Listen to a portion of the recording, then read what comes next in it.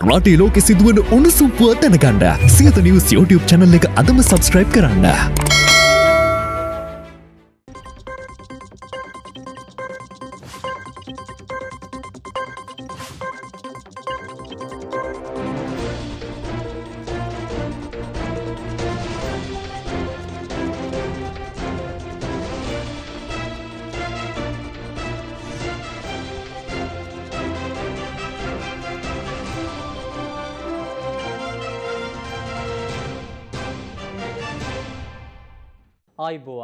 ආයිබෝවන් හරිදේ හරියටම කියන සියත රාත්‍රී පුවත් විකාශයයි මෙලෙසින් ආරම්භ වන්නේ මම ලක්ෂ්මන් විජයකුමාර මුලින්ම අවධානය පුවත් සිරස් තල වෙත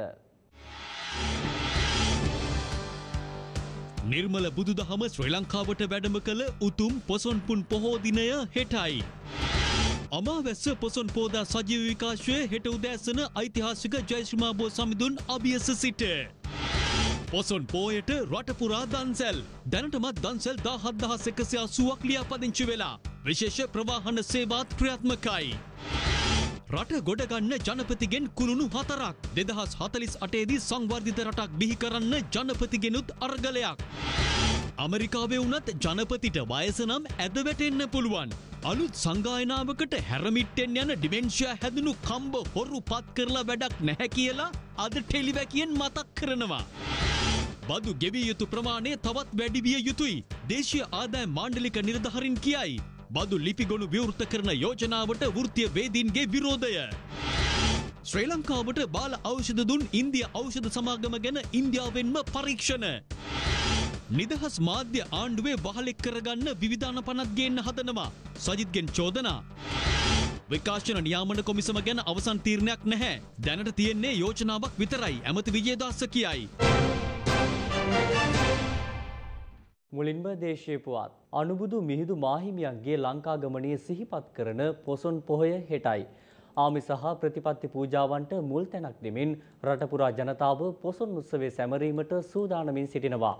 පොසොන් පොහොය නිමිත්තෙන් අද සිට ලබන පස්වනදා දක්වා විශේෂ බස් හා දුම්රිය සේවාවන්ද ක්‍රියාත්මකයි. වාර්තාගත ලෙස මෙවර පොසොන් පොහොය වෙනුවෙන් දිවයින පුරා දන්සල් දාහත් දහසකට අධික සංඛ්‍යාවක් ක්‍රියාත්මක බවට තොරතුරු වාර්තාවනවා. ලක්දිව බුදු සසුන ස්ථාපිත කළ අනුබුදු මිහිදු මාහිමියන්ගේ ලංකාගමනය සිහිපත් කරන පොසොන් පොහොය හෙටයි. රාජ්‍ය පොසොන් මහෝත්සවේ පැවැත්වීමට සැලසුම් කර ඇත්තේ මිහින්තලේ සහ අනුරාධපුර පූජානගරය කේන්ද්‍ර කර ගනිමින්. පොසොන් මහෝත්සවයට සැරසෙන මිහින්තලා පුදබිම අදදිස් වූයේ මිලෙසින්.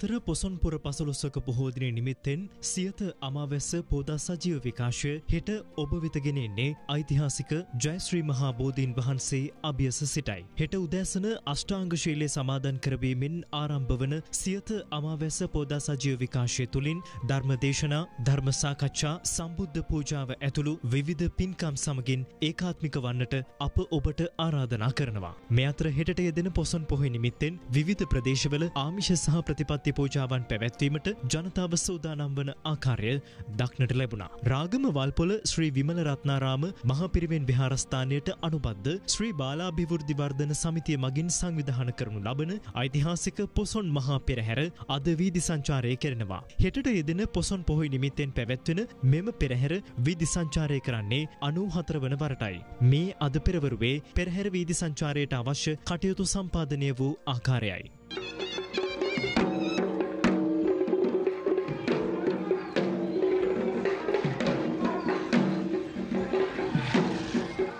කොළුන්නාව කසලකන්ද පිහිටි භූමිය මිහින්තලා අනුරුවක් සමගින් මෙවර පොසොන් කලාපයක් බවට පත්ව තිබෙනවා. දෙදහස් දාහත වර්ෂයේදී මෙම කසලකන්ද නායෑමෙන් දිවි අහිමි වූවන්ට පින් පැමිණවීම සඳහා මහා සංගරත්නය වැඩම කරවා දාන ශීල භාවනා ආදී වැඩසටහන් සිදු කරන බවයි අපවාර්තාකරු සඳහන් කළේ. දකුණු පළත් සභා අමාත්‍යංශ එකතුව සංවිධාන කළ පොසොන් පිණ්ඩපාත චාරිකාව අද ගාල ලබුදුවේදී පැවැත්වුණා.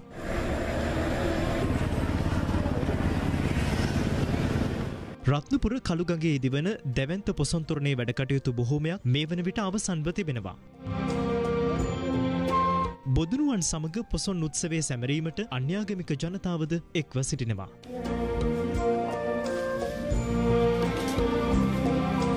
පොසොන් උත්සවේ නිමිත්තෙන් අනුරාධපුර පූජානගරය වෙත වන්දනාවේ යන සැදැහැවතුන් වෙනුවෙන් පුත්තලම දිස්ත්‍රික්කය කේන්ද්‍ර කරගනිමින් දන්සල් රැසක් සංවිධාන කර තිබෙනවා.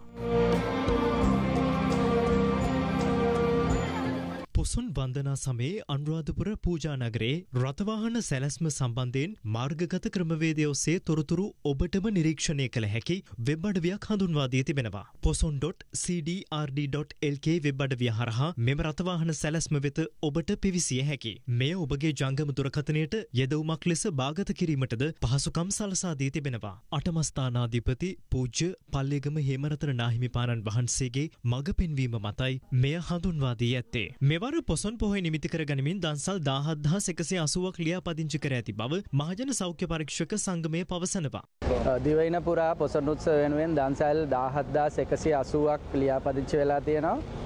විශේෂයෙන්ම වැඩිම දන්සල් ප්‍රමාණයක් ලියාපදිංචි වෙලා තියෙන බස්නාහිර පළාතෙන් ඊට අමතරව උතුරු මැද පළාත ඒ වගේම නැගෙනහිර පළාත සහ වයඹ පළාත වැනි ප්‍රදේශවල විශාල දන්සල් ප්‍රමාණයක් ලියාපදිංචි වෙලා තියෙනවා. මේ අතර හෙටට යෙදෙන පොසොන්පුර පසළොස්වක පොහෝ දිනය වෙනුවෙන් සිරකරුවන් පිරිසකට විශේෂ රාජ්‍ය සමාව ලබා දීමට තීරණය කර ඇති බව බන්ධනාගාර මාධ්‍ය ප්‍රකාශක චන්දන ඒකනායක පවසනවා. හාරසිය තිස් හතර දෙනෙක් නිදහස ලබනෝ පිරිමි සිරකරුවන් කාන්තා සිරකාරයන් හය දෙනෙක් මේ අනු නිදහස ලබනෝ. මේ අතර පොසොන් පොහොය නිමිත්තෙන් අද සිට ලබන පස්වනදා දක්වා විශේෂ බස් සේවා ක්‍රියාත්මක බව ලංකා ගමනාගමන මණ්ඩලය සඳහන් කළා. දෙවෙනේ ප්‍රධාන නගරවල සිට අනුරාධපුරය දක්වා මෙම විශේෂ ප්‍රවාහන සේවා ක්‍රියාත්මකයි. අනුරාධපුරය සහ කොළඹ අතර විශේෂ දුම්රිය ගමන් වාර කිහිපයක්ද අද සිට ක්‍රියාත්මක වනවා. පොසොන් සමයේ විශේෂ ආරක්ෂක වැඩපිළිවෙලක්ද ක්‍රියාත්මකයි. හින්තලේ පොසොන් කලාපේ අනුරාධපුර පොසොන් කලාපේ ඒ වගේම තන්තිරිමලය අවකන විජිතපුර නාමල්ලු යන මේ ප්‍රදේශ සඳහා විශේෂ අවධානයක් යොමු කළා තියෙනවා පොලිසිය රාජකාරිය දෙවීමේදී පොලිස්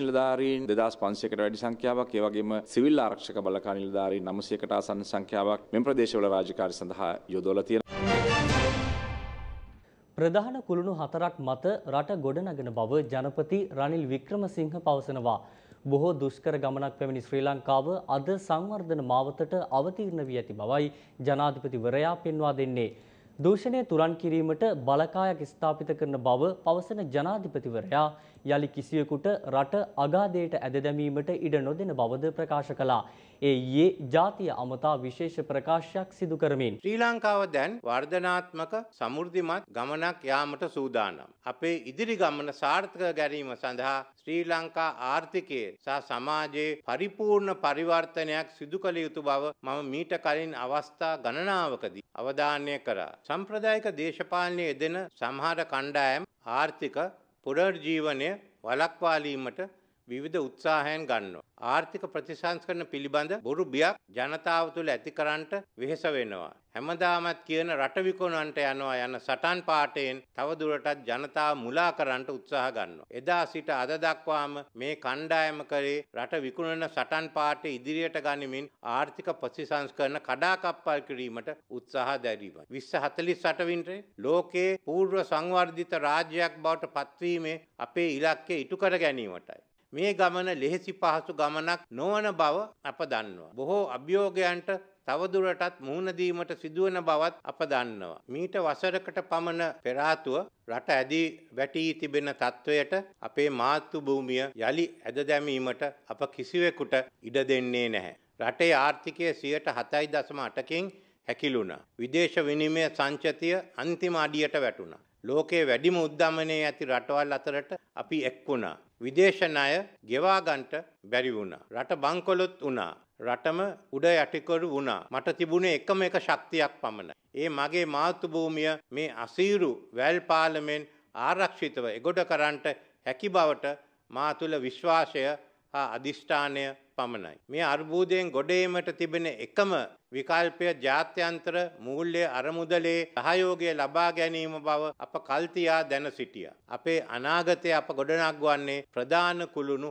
හතරක් මතයි. පළවෙනි කුළුණ රාජ්‍ය මූල්‍ය හා ප්‍රතිසංස්කරන. දෙවනි කුලන ආයෝජන ප්‍රවර්ධනය. මෙම යෝජනා ක්‍රියාත්මක කරලීමේ පිළිවෙත සැකසීම උදෙසා අප අලුත් ක්‍රමවේදයක් ක්‍රියාත්මක කරනවා. ඒ ක්‍රමවේදය අප හඳුන්වන්නේ සංගායනා ක්‍රමවේදය යනුවෙන්. තුන්වැනි කුළුණ සමාජ ආරක්ෂණ ජාලය. සමාජ ආරක්ෂණය සඳහාද අපි සංගායනා ක්‍රියාවලිය අනුගමනය කරනවා. හතරවැනි කුළුණ රාජ්‍ය ව්‍යවසාය ප්‍රතිසංස්කරණය. වර්තමාන ආර්ථික ශේස්ත්‍රයක තිස්තුනක රාජ්‍ය ව්‍යවසායන් හාරසය තිහක් ක්‍රියාත්මක වෙනවා. ජනතාවගේ බදු මුදල් විශාල ප්‍රමාණයක් මේ අසාර්ථක ව්‍යවසායන් නඩත්තු කිරීම සඳහා එදවීමට සිදුවී තිබෙනවා. මේ ආයතන ආණ්ඩුවටත් බරක් රටටත් බරක්. ජනතාවටත් බරක්. එම නිසා මේවා සාර්ථක ගැරීමට අවශ්‍ය ප්‍රතිසංස්කරන හා ප්‍රතිව්‍යවගත කිරීම අප නොපමාව කළ යුතුයි. විස්ස හතලිසට සංවර්ධිත රටක්. එයයි අපේ ඉලක්කය. අපේ අරගලය මේ ඉලක්කයට ළඟාවීමයි. අපි එකට එක්ව අපේ අනාගතය ගොඩනංවමු. යහපත් හෙට දවසක් නිර්මාණය කරගනිමු.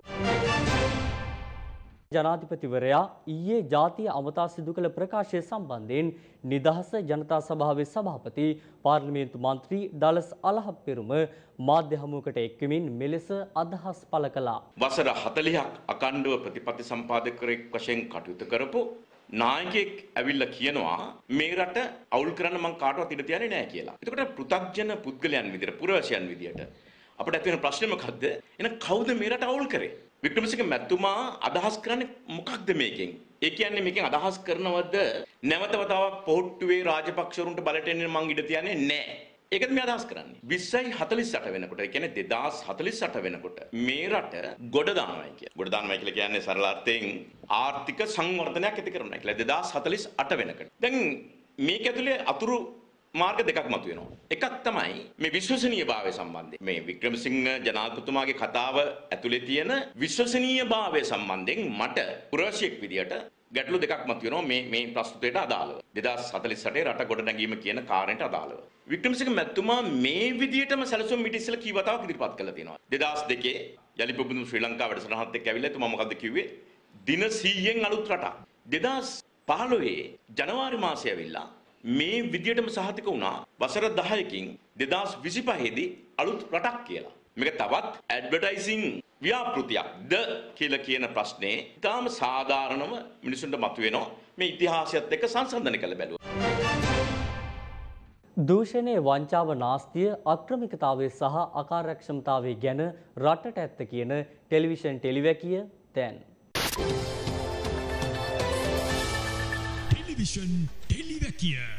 අද ලියන්නේ දෙසි අසූ පස්වැනි ටෙලිවැකිය. අද ටෙලිවැකීට පාදක වෙන්නේ ජනපති රනිල්ගේ ඊයේ මාර්ගසිතියම් කතාව. අඩුම ගානේ මට මෙහෙම හීනයක් තියෙනව කියලා ඉඳලා හිටල හරි ජනතාවට ඇවිත් කියන එකට අපේ ස්තුතිය පුද කරනවා. රාජ්‍යංශ හා පුද්ගලිකංශය අතර සහයෝගිතාවය ශක්තිමත් කරලීමේ අරමුණ ඇතිව සැකසෙන මෙම වැඩපිළිවෙල සඳහා ඒ ශේෂත්‍ර පිළිබඳ විශේෂ දැනුම ඇති පිරිස් රාජ්‍ය නිලධාරීන් යෝජනාවට හෝ ව්‍යාකෘතියට අදාළ රේකීය අමාත්‍යංශ බලධාරීන් හා පෞද්ගලිකාංශයේ නියෝජිතයන් එක්කර ගැනෙනවා. ඒ සමස්ත මාර්ගසිතියම් කතාවටම ඇහුන්කන් දෙන විට යාන්තන් හිත සතුටු වෙන වාක්‍යයක් දෙකකුත් ඇහුණ නේද. ඒ තමයි ඔය විවිධ ශේත්‍රවල ප්‍රවීණයන්ගේ උපදෙස් ගන්නවා කියලා කියපු කතාව ඒ වචන ටික. විශේෂෙන්ම මේ ටෙලිවැකිය ආරම්භ කළ අවස්ථාවේ සිටම අප කළ එක් යෝජනාවක් වුණේ ඒක තමයි. එදා අප කිව්වා මැති ඇමති අගමැති ජනපතිලගේ දැනුමට මේ රට පාලනය කලා දැන් ඇති කියලා. ඒවගේමයි හොරකමට වංචාවට කම්මැලිකමට පුරුදු වුණු සමහර රජයේ නිලධහරි ඔස්තාර්ලගේ උපදේශත් ඇති කියලා අප නිරන්තරයෙන් මතක් කලා. උදාහරණයක් ලෙස ඕනෙනං ඉතින් මහබැංකුව පවා දක්වන්ට පුළුවන්නේද. ඔය ඉන්න සමහර නිලධහරින් දැනගෙන හිටියේ නැද්ද මේ රට බංකොලොත්වමින් තිබෙනවා කියලා නේද. මොකද මේ කටේ සූප්පු ගහපු පොඩි උන්දලය ඔතන ඉන්නේ පොඩි උන්දලන මේ පොඩි දරුවෝ නේද. මේ අය හොඳටම දන්නවා.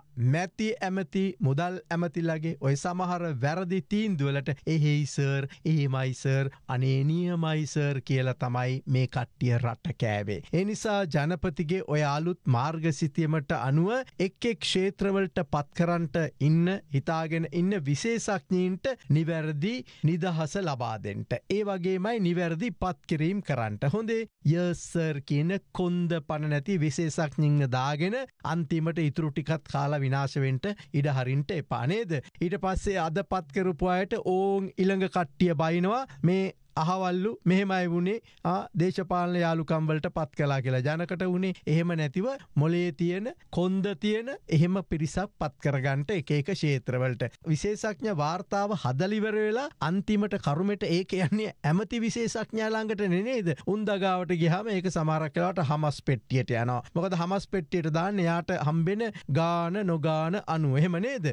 එහෙම ගිය කතා කොච්චර තියෙනවාද? එහෙමගේ විශේෂඥ කමිටු වාර්තා කොපමන තියෙනවාද නේද? වැඩි ඇතට යන්ට ඕනේ නෑ. ඔය පසුගේ කෘෂිකර්ම අර්බුධ අරම් බලන්ට කොනේද අපේ රටේ කෘෂිකර්ම විශේෂඥ දැනුම ඇති මහාචාරිවරුන් හතලිස් පහක් පණහක් විතර තාම රට ඇතුළේ ඉන්නවා නේද? නමුත් ජනපති ගෝටාබේ තමන්ගේ කාබනික පොහොර ප්‍රතිපත්ති හදාගන්ට එකතු කරගත්ත කාවද? පස හැදෙන්නේ උඩ ඉඳලද යට ඉඳලද කියලවත් දන්න නැති අය වනේද. ඉළඟට එදා ඇමති මහින්දානන්ද කෘෂිකර්ම ඇමති හැටියට කී පාරක් කිව්වද? රසායනික පොහොර තහනම මරු කියලා නේද? කාබනික පොහොරවලින් පට්පට් ගාල අලබහිනවා කියලා නේ දෙහෙම කීපයි කීදනෙක් ඉන්නවද? අද හොයා ගන්ටවත් නෑ අප්පා. අන්තිමට ගොවියට සිද්ධ වනේ වහකන්න නේද? පාරිභෝගික අපිට සිද්ධ වනේ එල්ලිලා මැරෙන්න. චීන අර අසූචි පොහොර නැවකට කියලා නේද? සල්ලි ගෙව්වා. පොහොරත් නෑ සල්ලිත් නෑ. මේ උපදෙස් දුන්නෙත් විශේෂක්ඥින් තමයි නේද? අද රටට අවශ්‍ය වෙන්නේ කොඳුනාරටිය හයිය තියෙන විශේෂක්ඥින් ඒ නිසා පත් කරන මොන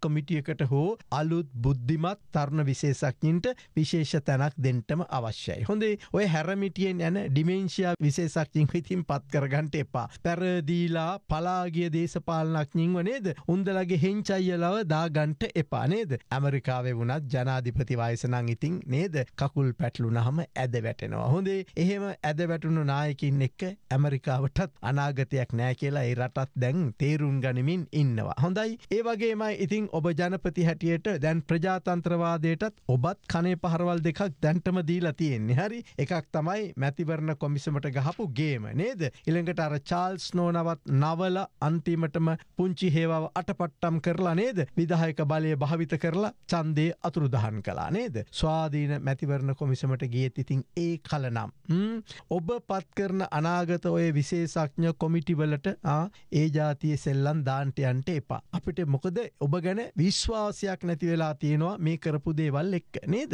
ඒ වගේමයි ජනකරත්නායකගේ ස්වාධීන කොමිසමට කරපුදේ එනිසා ඔය විශේෂඥ දැනුම සහිත ඔය කමිටු පත් කරනකොට ඒ කමිටුවලටත් විශේෂඥ දැනුමයි කොන්දයි නිසි වයසයි ඇති අයව පත් කරන්නට ඕනේ. හොඳේ අඩුම ගානේ හොඳ ආර්ථික විශේෂඥ කමිටුවක් පත් කරලා නම්ටික රටට කියන්න. ඒ කමිටුවට ඔය අද ලෝකේ පුරා විසිර සිටින අපේ ආර්ථික විශේෂඥ ඉන්නවනේ. ආගේ කීප දෙනෙකුටත් ආරාධනා කරන්න. මිස්සුතාම රටට ආදරෙයි. මේක දාලා ගියාට. කෘෂිකර්මය සඳහා කමිටුවක් හදනකොට හොඳ දක්ෂ දැනුම ඇති එක් එක් පලාත් නියෝජනය කරන ගොවියන් කිහිප දෙනෙකුටත් අවස්ථාව දෙන්න. මොකද ඉතින් මේ ආචාරය මහාචාරල කෘෂිකර්මය ගැන කතා කළත් කුඹරට වහින්නේ ගොවියනි නේද? නැත්තම් ඉතිං බූට්ස් දාලා ඩෙනිම් ඇඳලා ඇතකොට විට වෙනුවට චුයින් ගම් කන ඉතින් මොඩ් ගොවියෝ ගැන සිහින කතා ඉතින් කියන්ට එපා. ඒවත් අපි අහලා තියෙනවා. හොඳේ අධ්‍යාපනයට මොකද කරන්න කියලා කමිටු පත් කරනකොට ඒ අය එක පාරටම කෘත්‍රිම බුද්ධිය උගන්වනනේ දර ඒ අයි උගන්නන විෂය ගැනයි ඒවට අවශ්‍ය පරිගණක ගැනයි කතා කරයි. හරිද? ඇස්තමේන්තුත් හදයි අනිවාරයෙන්ම. හරි. අං ඒ වගේ විශේෂඥ කමිටුවක් එහෙම පත් කරන්නට එපා. පත්කලොත් ඒ උන්දලට කියන්ට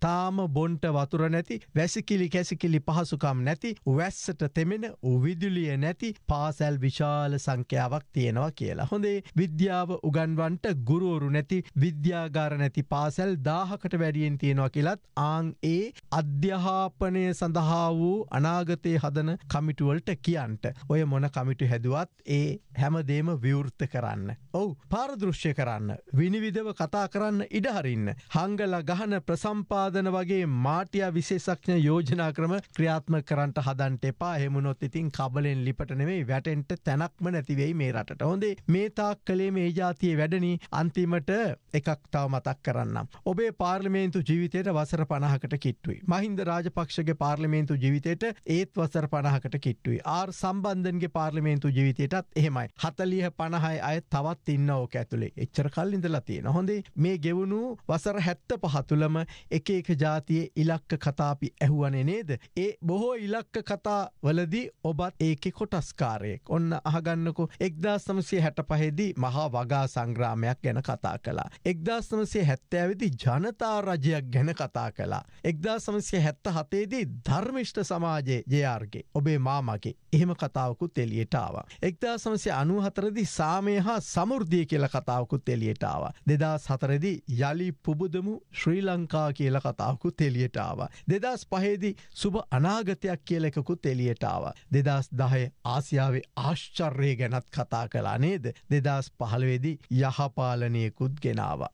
දෙදස් දහනමේදී සෞභාග්ගේ ඉදිරි දැක්මක් ගැන අපි ඇහුවා. විස්සයි විසදිකේදී නතර වුණේ බංකොලොත් රාජ්‍යයක් කියලා. දැම් මේ විස්සයි විසිතුනේ ඉදලා විස්සයි හතලිස්සට දක්වා අලුත්හේනයක් දකින සංවර්ධිත රාජ්‍යයක් කියනක නේද. දැන් එදාට මේ රට සංවර්ධනය වෙලාද නැද්ද කියලා හන්ට අපි නැතිවේවි. ඒ නිසා මේවා හුදු සිහින කතාවලට සීමාවෙනවා කියනක විතරමයි අර අතීතයේ දිහා බැලුහාම අපිට පේන්ට තියෙන්නේ නේද. සමහරක් වෙලාවට සින්ඩරල්ලගේ සුරංගනා කතා පරදවන තරමි කතා කියලා තියෙන්නේ ලියලා තියෙන්නේ ප්‍රතිපත්ති කියලා හදලා තියෙන්නේ අපේ රටේ දේශපාලනඥින් කියලා අද ටෙලිවැකිය අවසන් කරනවා. මාධ්‍ය පාලනය කිරීමට උත්සාහ කරන බවට රජයට දිගින් දිගටම චෝදනා එල්ලවෙමින් පවතිනවා. එවන් පසුබිමකයි විකාශන අධිකාරී පනත කරලියට පැමිණෙන්නේ. මේ පිළිබඳව අදහස් දක්වමින් අමාත්‍ය විජේදාස රාජපක්ෂ ප්‍රකාශ කළේ දැනට ඇත්තේ මාධ්‍යායතන සම්බන්ධ යෝජනාවලියක් පමණක් බවයි. ජනමාධ්‍ය අමාත්‍යංශය සහ මාධ්‍යායතන සමග කතා කිරීමෙන් පසු එය කෙටුම් පතක් බවට පත් කරන බවයි අධිකරණ අමාත්‍ය විජේදාස රාජපක්ෂ ප්‍රකාශ කළේ. විකාශන නියාමන කොමිස්සමක් අවශ්‍යතාවය අපිට මේ ජනමාධ්‍ය අමාත්‍යංශයෙන් තමයි ඉදිරිපත් කරේ. ඒකට දෙන්න හේතු කීපයක් ඒගොල්ලෝ අපිට ඉදිරිපත් කරා. එකක් තමයි දැනට දීලා තියෙන විකාශන බලපත්‍ර සියල්ලම ලංකාවේ දීලා තියෙන తాවකාලිකව. මොන වෙලාවක අවලංගු කරන්න පුළුවන් වසරක කාලයකට දීලා තියෙන්නේ. ඒ දීපු ප්‍රතිපාදන ගත්තම විකාශන රටේ විකාශන ප්‍රතිපත්තියකට අනුකූලව හැදිච්ච එකක් නෙවෙයි. සිළු ගුවන්විදුලි නාලිකාවලට බලපත්‍ර දීලා තියෙන්නේ රජයේ ගුවන්විදුලි සංස්ථා පනත යටතේ. බලපත්‍ර නිකුත් කරලා තියෙනවා. සියලුම රූපවාහිනී විකාශන ආයතන වලට බලපත්‍ර දීලා තියෙන්නේ රජයේ රූපවාහිනී සංස්ථා පනත යටතේ වගන්තියක් යටතේ. తాවකාලික බලපත්‍ර වගේම එක එක ආයතන වලට දීලා තියෙන එක එක ආණ්ඩු කාලවලදී එක එක ඔන්දේසියට කිසි ප්‍රමිතියක් ප්‍රතිපත්තියක් මත දීපුවත් නෙවෙයි. ඒක නිසා මේක යම් ප්‍රමිතියකට ගේන්න ඕන කියලා තමයි කැබිනට් මණ්ඩලයට ජනමාධ්‍ය අමාත්‍යාංශයෙන් ඉල්ලීමක් කරේ. අපි කැබිනට් සබ් කමිටි එකකින් මේක සකස් කරා. ඔය තියෙන ලේඛනය අපි සියලු මාධ්‍ය ආයතන වලට ලබා දීලා තියෙනවා. මේක මේ කෙටුම්පත නෙවෙයි මේක යෝජනා ටිකක් මේකේ තියෙන්නේ. අපි 7 වෙනිදාට පාර්ලිමේන්තුවේ ජනමාධ්‍ය අමාත්‍යාංශයෙන් කැඳවලා තිබෙනවා. ජනමාධ්‍ය ආයතනවල අදහස් විමසලා අපේ රටට ගැළපෙන මාධ්‍ය ප්‍රතිපත්තිය කුමක්ද කියලා තීන්දුව අරගෙනතර පස්සේ තමයි යෝග කෙටුම්පතක් බවට පත් කරන්න වෙන්නේ. එතකන් තියෙන යෝජනා. නිදහස් මාධ්‍ය තමන්ගේ වහලෙකු බවට පත්කර ගැනීම සඳහා ආණ්ඩුව විවිධ අනපනත් ගෙනීමට උත්සාහ දරන බව විපක්ෂ නායක සජිත් ප්‍රේමදාස පවසනවා. ඔහු මේ බව ප්‍රකාශ කළේ අරල ගංවිල ප්‍රදේශයේ පැවති වැඩසටහනකට එක්වෙමින්. අරලගංවිල දම්මින්න ඉහළවැව ප්‍රදේශයේ මැටි කර්මාන්තකරුවන්ගේ ගැටලු පිළිබඳව සොයා බැලීමට විපක්ෂනායක සජිත් ප්‍රේමදාස පැමිණියා. ඒ උදාවක ඇරඹුම වැඩසටහනට සමගාමීවයි.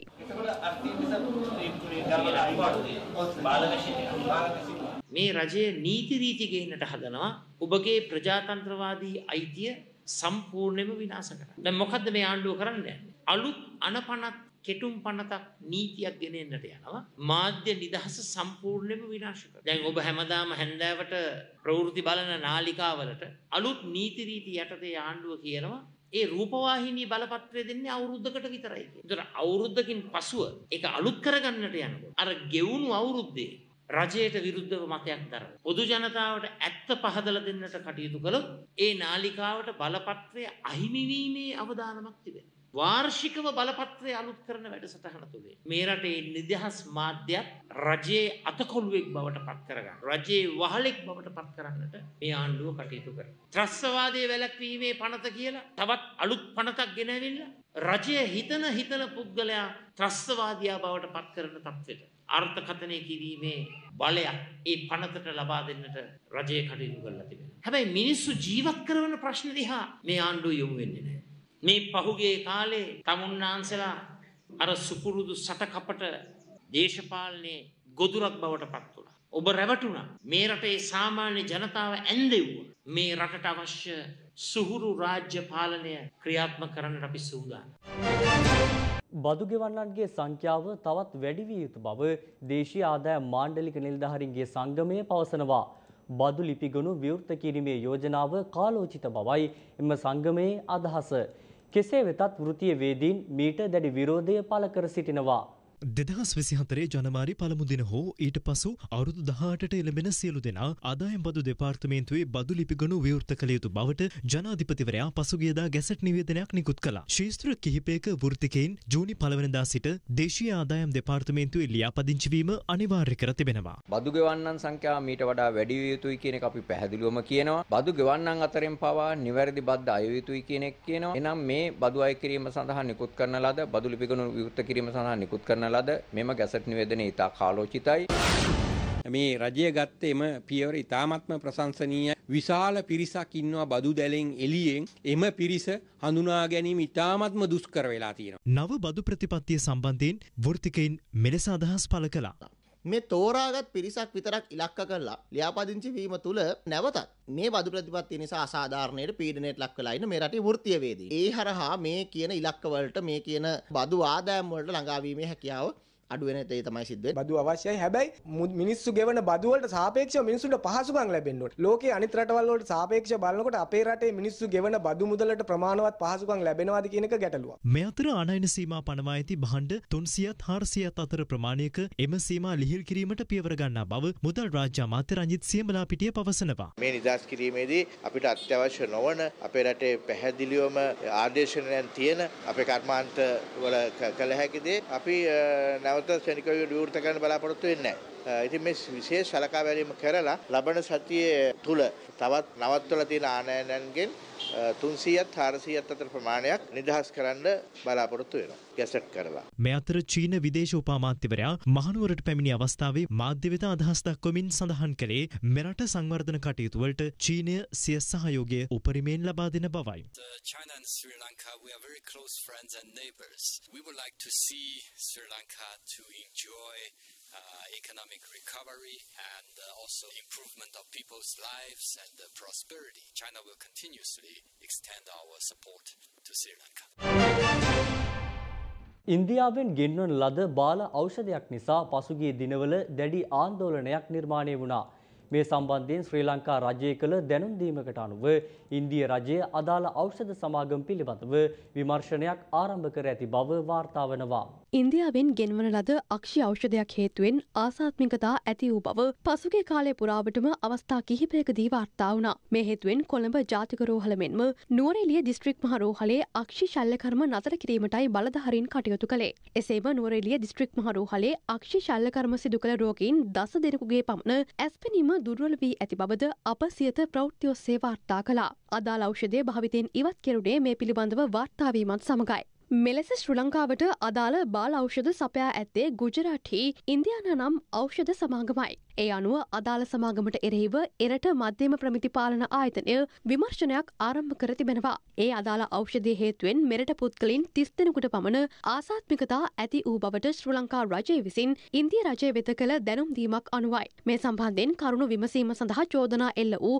සමාගමට කැඳවීමක් කර ඇති අතර ඉන්දිය ඖෂධ අපනයන කවුන්සිලය සිද්ධිය සම්බන්ධයෙන් අභ්‍යන්තර පරීක්ෂණයක්ද සිදු කිරීමටයි නියෝග කර ඇත්තේ.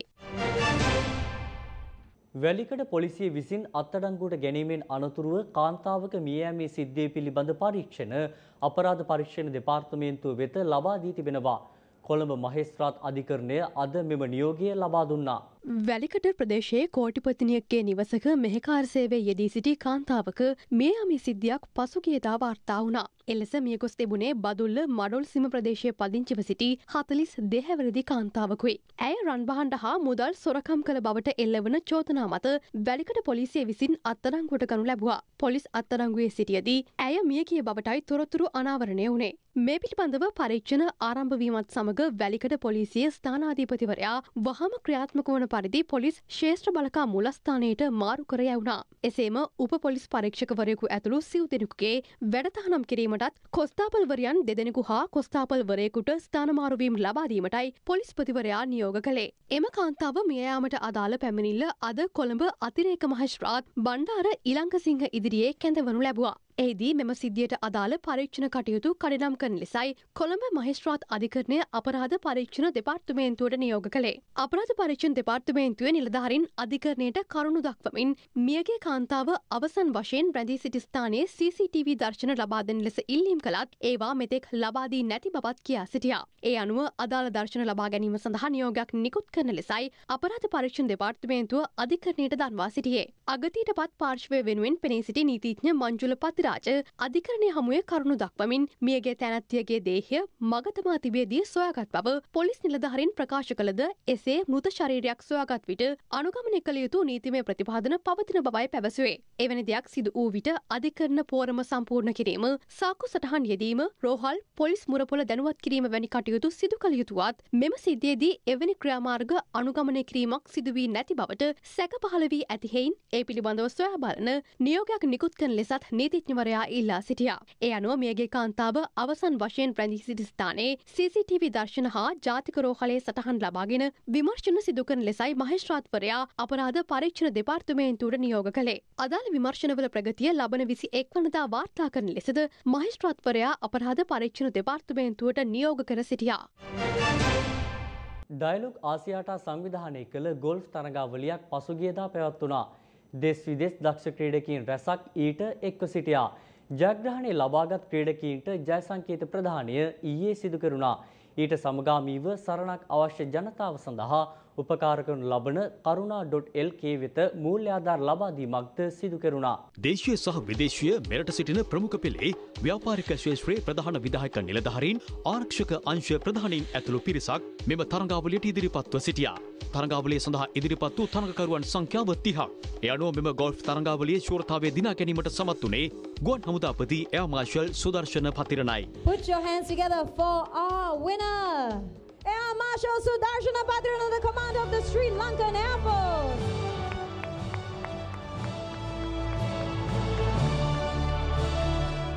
ජයග්‍රාහකින්ට තිලින සහ කුසලාන ප්‍රධානය කිරීම ඊයේ කොළඹදී සිදු කෙරුණා. මෙම අවස්ථාවට ඩයිලොකාසියට ආයතනය ප්‍රධානින් ව්‍යාපාරික ශේෂත්‍රය ප්‍රධානින් ආරක්ෂකාංශ ප්‍රධානින් ඇතුළු පිරිසක් එක්ව සිටියා. මෙහිදී තවත් සුවිශේෂී අවස්ථාවක් සනිටුවන් වුණා. ඒ ඩයිලොක් විසින් ආරම්භ කර තිබෙන කරුණා.lk සඳහා මුල්‍යාධාර ලබා දීමයි. අප සමාජය උදව් උපකාර අවශ්‍ය අය සඳහා මෙන්ම එම උදව් උපකාර ලබාදීමට හැකි පුද්ගලයින් එක තැනකට යා කරන මෙරට ප්‍රධානතම ඩිජිටල් ෆලට්ෆෝර්ම් එක ලෙස කරුණා.lk හැඳින්විය හැකි. මෙම කරුණා.lk වැඩසටහන සඳහා සිය මූල්‍ය පරිත්‍යාග ලබා දෙන්නට වොයිස් ඔෆ් ඒෂියා මාධ්‍යජාලයේ ජ්‍යෙෂ්ඨ උපදේශක ප්‍රියන්ත කාර්යපෙරම මහතාද ඊයේ දිනෙක වුණා. The website is karna.lk and if you're interested in getting your hands on these signed bats, ඉතාම සුවිශේෂ දෙයක් සිද්ධ වුණා ඩයලොග් ආසියා සමාගම විසින් කරගෙන යන සුබ සාධන කටයුතු සඳහා කරුණා.lk කියන වෙබ්සයිට් එක මගින් සුබ සාධන කටයුතු කිරීම සඳහා ආධාර එකතු කිරීම සිද්ධ වුණා.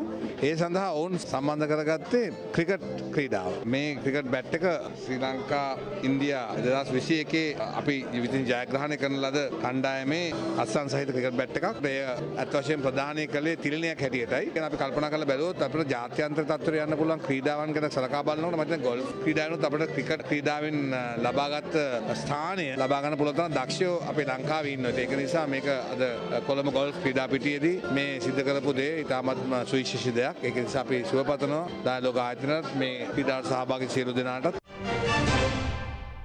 දැන් රටවටා පුවත් කිහිපයක් කෙටියෙන්.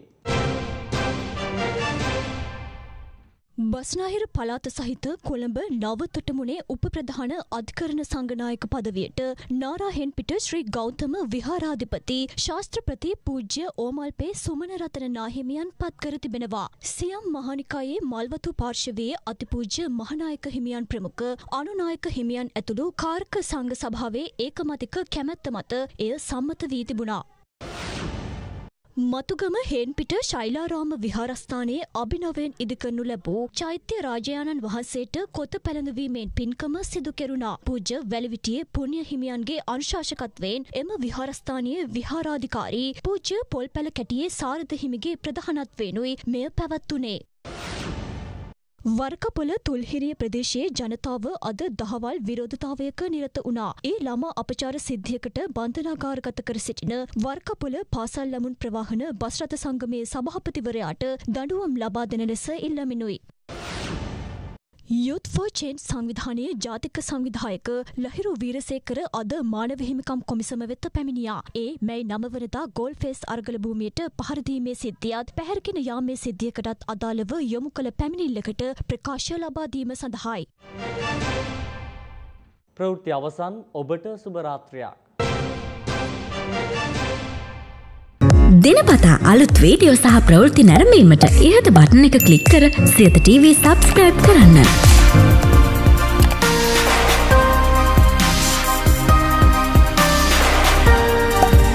අලුත් වීඩියෝ ගැන මුලින්ම දැනගන්න මෙම සීනුව ක්ලික් කරන්න.